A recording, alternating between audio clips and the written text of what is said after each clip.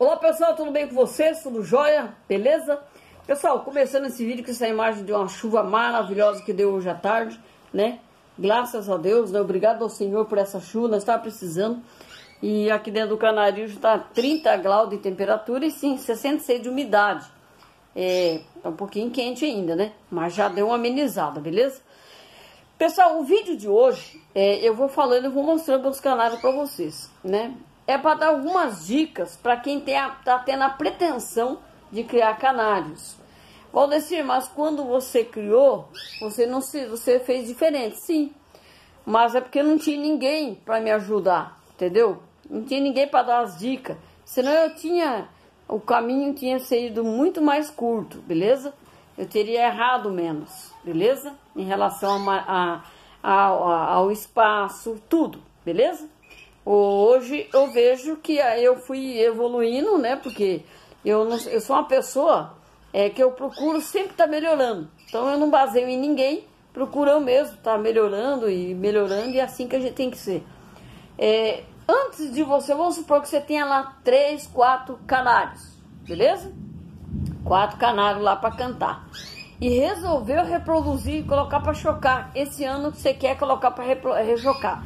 Então as dicas que eu vou estar tá dando aqui é direcionado para você, você que quer iniciar na criação de canário, beleza? É, primeira coisa que você tem que saber, né? É, se você tem tempo disponibilidade, né?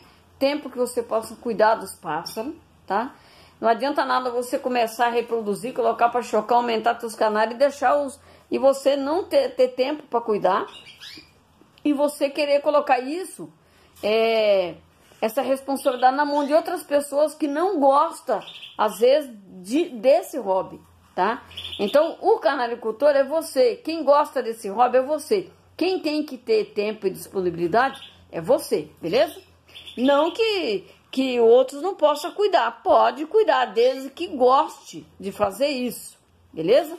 Desde que faça com amor, né? Tá ajudando o marido, beleza? Aí tudo bem, tá? Mas eu não posso começar a criar canário e de repente eu deixar, é, assim, é, deixa para a esposa se virar, né? Aí eu sou canaricultor, mas quem cuida mais, eu nem tenho tempo de ficar no canario, de cuidar dos pássaros. Quem cuida mais é a esposa, então aí não é certo, tá? Ainda mais para quem está começando, né? Então, primeira coisa, você tem que ver se você tem tempo para estar tá cuidando desses pássaros, beleza? Segundo, é que é muito importante, a espaço. O canário, pessoal, ele precisa de um lugar adequado onde dê segurança contra aves de rapina, contra gatos, cachorro, pessoas estranhas. Então, ele tem que ter um recipiente só para ele, um lugarzinho, nem que for pequeno, tá? Já já nós vamos falar sobre esse assunto também. Então tem que ter um espaço reservado para os canários, tá? Nada de ficar colocando o canário na cozinha, na sala, né? Suja tudo, cria atrito com a esposa e um pouco ela tem razão, né? A casa, a, a semente, ainda mais quem dá semente para os pássaros, né? Como eu, é, acaba sujando muita casa. Então, pessoal, não vamos criar atrito, né? Com as esposas, com ninguém né? Vamos ser, começar tudo organizado. Primeiramente, eu quero criar canário, dois casal, três casal, quatro casal, dez casal, e eu vou ter disponibilidade para estar tá cuidando dessas aves, ok? Segundo, espaço. Não, lá na, no, no, lá na, na, na, garagem tem um espacinho, eu vou fazer isso, fazer aquilo. Beleza. Lembrando que é para proteger os pássaros, porque o canário não pode, pessoal, ficar no ar relento. Não pode ficar ah, exposto em temperaturas é, que são é, irrelevantes, é, que tem é, correntes de ar, beleza? O canário, ele aguenta uma temperatura baixa, mas precisa ser estável. Não pode ter frequência de temperatura baixa, tipo corrente de ar, tá bom? Terceiro, pessoal, é de você escolher o tamanho, saber especial as gaiolas, né? Quantas gaiolas vai, é, vai caber nesse espaço, né? é, para não ficar tudo tumultuado. As gaiolas têm que ter, pessoal, essa, essa é, quanto mais longe uma da outra, é melhor. Negócio de gaiola muito junto é só para ficar juntando sujeira aqui na lateral. Então as gaiolas, ela tem que ter uma separação de uma na outra. Então se você colocar quatro casal, como eu iniciei, você coloca lá quatro casal de canário, um lugarzinho fechadinho para eles, onde não entre gato, cachorro, não tem acesso a nada, beleza? E esse lugar, ele tem que ser fechado, né? E outra coisa, ele tem que ter uma refrigeração legal, né? A temperatura sempre aí estável, né? Não pode ser muito quente, tá? É, não pode passar dos 35 graus, que é muito quente, né? É, a umidade não pode ser muito baixa nem muito alta.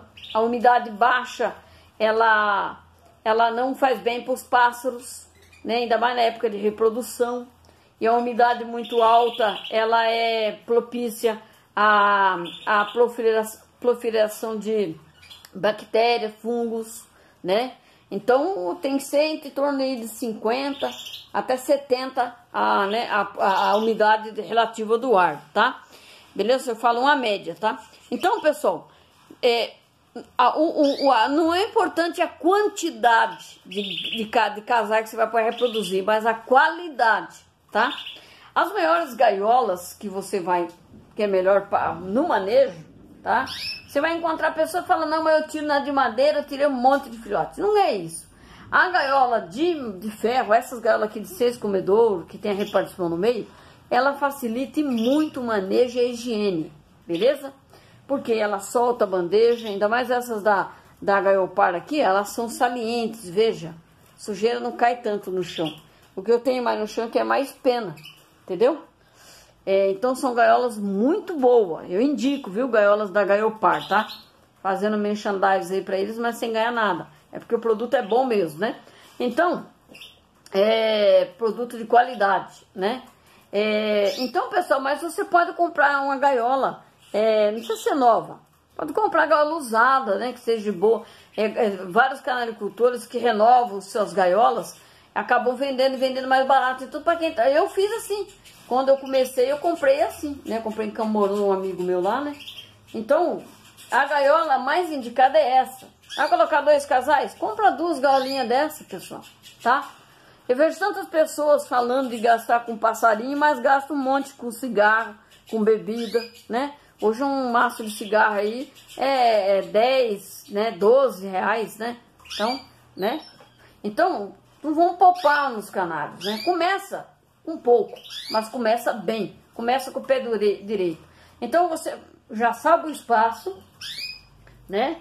Não vai estar tá fazendo sujeira na casa da esposa, tá? Você já adquiriu gaiolas que vão te ajudar no manejo. Agora, pessoal, você vai é, conseguir canários da cor que você goste. Não crie canários porque o teu vizinho cria aquela cor, não. Tenta ver qual o canário que você gosta. Né? Eu indico para quem está iniciando, pessoal, é, canário sem raça definida, né? Porque o sem raça definida, nós não precisamos pigmentar. Porque tem que ter um manejo, tem que saber, e acaba, para quem está iniciando, é difícil. Canários de raça também, para quem tem que ter um manejo, muitas vezes tem que usar uma seca, para quem está iniciando é difícil, tá? Então comece com os canários sem raça definida, e depois você vai descobrir qual é a raça, a cor que você gosta mais, se é canários vermelho, da linha clara, lipocrômico, ou os canários da linha escura, os canários milânico, que são salsas, beleza? E aí por aí você vai, tá? Então essas dicas minhas aqui num vídeo muito curto aí mostrando para vocês, é para vocês terem mais facilidade de começar a criar canário e ter prazer. E sempre lembrando, isso aqui, pessoal, não dá lucro. Dá muito mais do que isso. Dá prazer, dá alegria, felicidade, que é dinheiro não compra, tá? Então, hoje eu tenho aqui 12 casais. É pouco ainda. Mas para mim não, não importa é a quantidade encher de canário aqui. É a qualidade, beleza? A qualidade de vida deles. Então, você vão descer, então eu vou para reproduzir. Então eu tenho que ter um lugar próprio para meus canários? Sim, para proteger eles. Vou descer, eu tenho que comprar gaiolas que, sei, que ajudem o manejo? Sim. Descer, eu comprei uns canários, eu ganhei lá, beleza. Agora, é, você vai se preocupar com a alimentação, tá? E eu vou pedir a Valdeci, mas qual alimentação devo dar? Uns falam que é só semente. Não. A melhor alimentação, pessoal, é, é você dar uma alimentação equilibrada. Uma mistura de semente, tá? Lembrando que eu dou mistura de semente, mas nada de falar que a mistura de semente é balanceada, porque o passarinho ele come o que ele quer aqui, ó. Então não é que é balanceado, é porque eu gosto da mistura de semente mesmo. A farinhada ótima, a farinhada que eu indico aí é da Angercal, tá? Farinhada aí muito boa. Tem outras também no mercado, mas o que eu uso, que eu posso falar com propriedade, é as farinhadas da Angercal, tá? E daí, pessoal, o resto eu vou pedir para você assistir os meus vídeos lá do início, vem assistindo os vídeos. Eu tenho playlist no canal sobre problemas, doenças que acontecem com os pássaros, né? Algumas mentiras, pérolas na canaricultura que não é verdade. Então você vai poder esclarecer suas dúvidas através de entrar no nosso canal lá, clique em se inscrever, clique em curtir, ativa o sininho e toda novidade que eu tiver eu vou estar trazendo para vocês, tá? É, beleza? Então é isso aí, tá? E sempre vocês sabem que vocês podem deixar dúvidas aqui no comentário. É claro, sempre que você puder fazer, com, é, é, fazer perguntas e comentários em relação ao vídeo que está sendo postado, tá bom? Beleza? Então pode deixar suas dúvidas. Então, primeira, é, primeira preocupação, lugar onde eu vou criar, o espaço, como que é, tá? Segundo, decidir quais tanto de casais que eu vou colocar reproduzir. Começa com um pouquinho, um, dois casais, depois você vai sentindo, tá? Depois, escolher as matrizes certas, né? Os canários, pode ser sem raça definida, não tem muita burocracia não. Comprar só você comprar canário sadio. Presta atenção nessa dica. For comprar canário, não compra canário rouco, tá? Compra canário cantando, nada de comprar canário macho porque o dono está falando que ele é macho. Compre o pássaro cantando.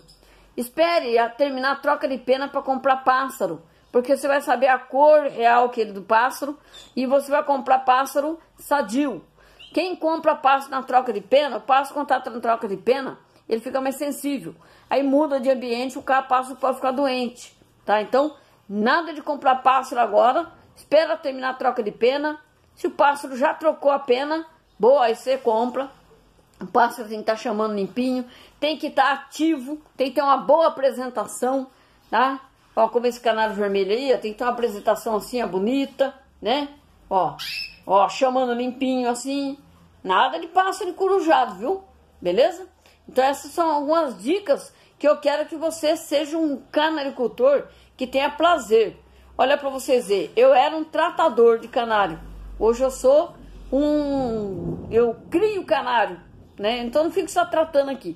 Eu, eu, eu coloquei bebida automático, mas tudo na canaricultura, pessoal, é... e eu tenho muita coisa para fazer ainda, tem muito que aprender ainda, tá?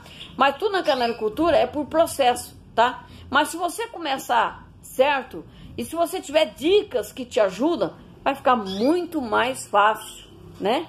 Beleza? É, antes eu tinha uma gaiola, quatro gaiolas, eu rapava o fundo do, o fundo aqui das gaiolas vai ficar rapando, né?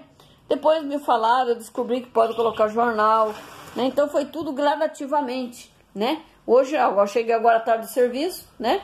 Tem um pouco de sujeira, tem, mas isso é normal. Eu encho aqui, ó, só para observar.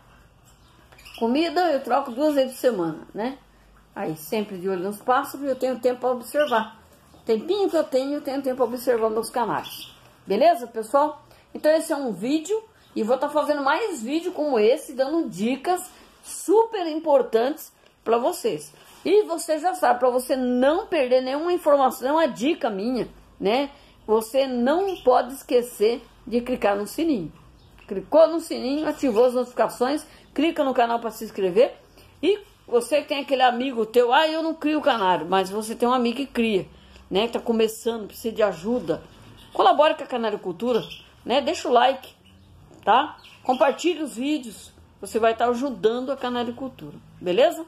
Certinho? Um forte abraço para vocês, fica com Deus e até o próximo vídeo, em nome de Jesus.